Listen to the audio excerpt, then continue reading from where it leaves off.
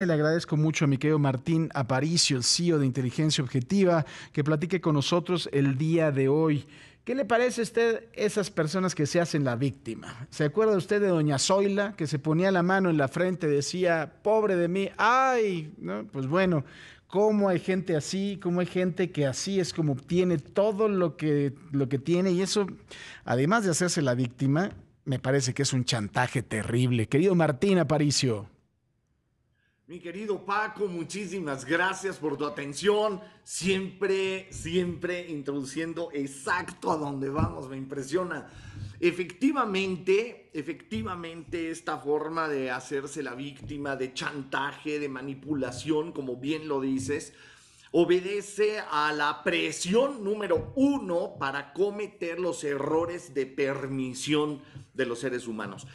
Básicamente, la gente le preocupa mucho los errores que pueda cometer a lo largo de su vida, ¿no? Y entonces los errores se van a dividir en dos grandes grupos. Los errores de acción, los que yo cometo, y los errores de permisión, los que permití que sucedieran. Los errores entonces, el, el 85% de los errores de la vida de una persona que lo llevan a deteriorar tanto su nivel como su calidad de vida son los errores de permisión. Y apenas un 10-15% serán los errores que tenemos conciencia de haber cometido. Los otros errores de permisión básicamente están montados y estructurados en una forma de miedo, distintas formas de miedo. Miedo a la soledad y entonces hay permisión en la relación de pareja. Miedo a la manutención y entonces hay permisión de groserías corrientadas en la relación de pareja. Eh, también los lazos morales donde pues la relación moral con un hermano permitió que hubiera un abuso, por ejemplo, de confianza. Y así sucesivamente vamos cometiendo errores de permisión. Eh, de repente hay un lazo moral con un primo hermano y te dice, oye, me ayudas, y entonces ahí vas tú con esta relación moral a permitir un abuso y un sacrificio de un tiempo de vida productivo para ti. Entonces, se tiene que entender bien qué es exactamente y de fondo un error de permisión para lograr su trascendencia. Dejo una frase que va a dar mucha luz, me parece, eh, a reserva de tu mejor opinión, Paco. Eh, una frase donde podemos decir, lo correcto, el mundo correcto está por encima de las relaciones morales. Eh, y esto es así. Por ejemplo, no sé, platiquemos de algo medio fuerte, tal vez tengo un hermano que es delincuente. Lo correcto no es alcahuetear, proteger, cubrir, al hermano. Necesitamos actuar en consecuencia de ello, sea de la manera que sea, pero no podemos, por una cuestión moral, pasar por encima de lo correcto, destrozándolo con los pisotones. No sé cómo veas, Paco, ¿qué opinas?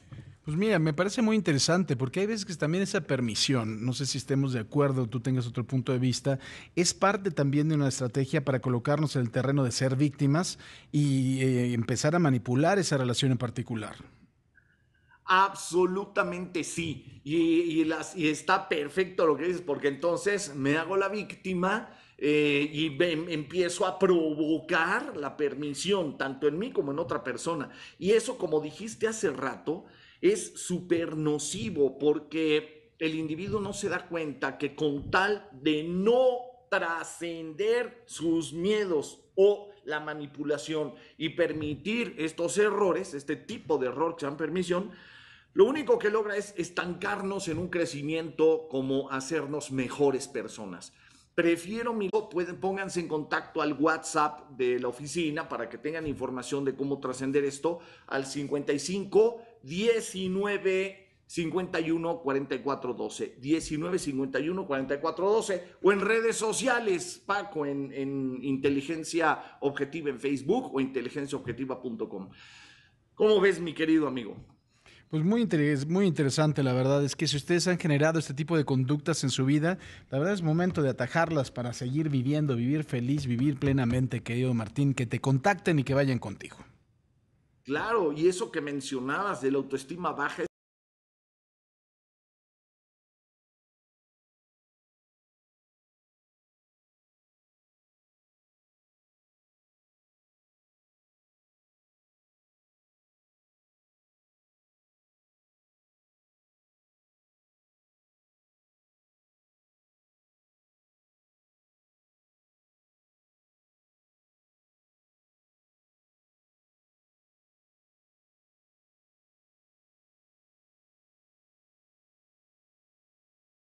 placer, no sé qué opines, Paco, en lugar de una relación de pareja sana, es una relación de pareja viciosa. Se vició. Es una relación que está cargada de la permisión, del chantaje, de la victimización. O sea, no es relación. No sé es tóxica, tóxica, codependencia absoluta, ¿no?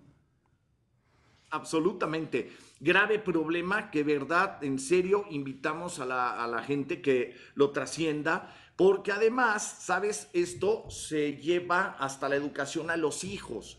Y entonces nos vamos a la educación a los hijos. Es increíble, déjame decir, en México, aunque es en el mundo, pero estamos ahora en México, que pues la gente, por ejemplo, si tiene un término con su pareja, es increíble que la manera de reconquistar y hacer que se quede sea la victimización. Entonces, si muestro eh, incapacidad, depresión, tristeza, fracaso en mi vida, se lo muestro como medida de medición del amor. Es, esto es el colmo que la educación nos lleve a mostrar el amor o tomar el llanto, la angustia, la tristeza, la depresión como parámetro de medición del amor. Sin duda, pues. Completamente. Pues mi querido Martín, que te busque, por supuesto. gracias por el espacio. Te mando un abrazo fuerte, Martín Aparicio.